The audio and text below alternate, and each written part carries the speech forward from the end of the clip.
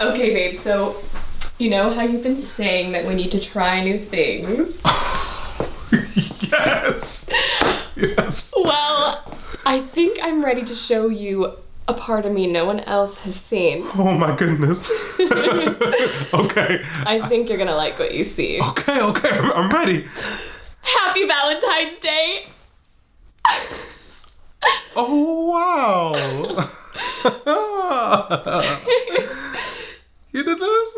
Yeah, yeah, I, I just been looking for new ways to express myself lately, and, and I thought, hmm, Erica, what are you good at? And and I I always want to be an artist, so I started taking classes on the weekend.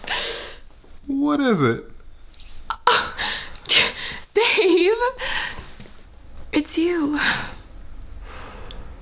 So where are you gonna put it?